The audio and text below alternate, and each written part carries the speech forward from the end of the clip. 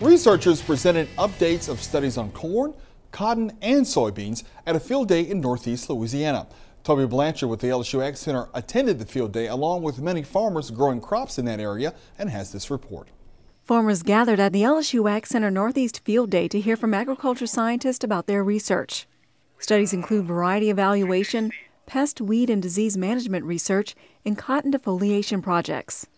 The station's resident coordinator, Donnie Miller, said researchers conduct long term projects while having the flexibility to tackle issues that need immediate attention, such as herbicide resistant weeds. Recent flooding in areas of northeast Louisiana may have complicated this problem.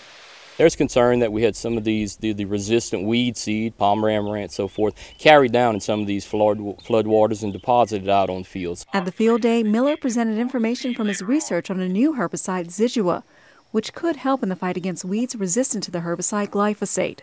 In our trials this year, Zidua has performed very well from a residual standpoint, gave us great grass control, great pigweed control, which is very important. Miller said dry weather has been a problem for growers this year. The station was fortunate to get rain at crucial times, but some farmers were not.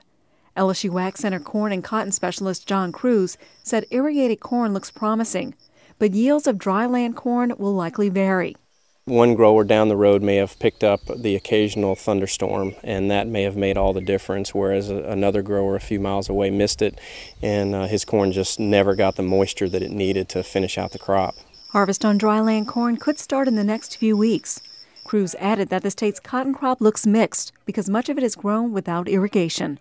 For This Week in Louisiana Agriculture, this is Tobie Blanchard with the LSU Ag Center. Agriculture contributes the most money to the Northeast region's economy, and farmers in the area depend heavily on the research conducted at the Northeast Research Station.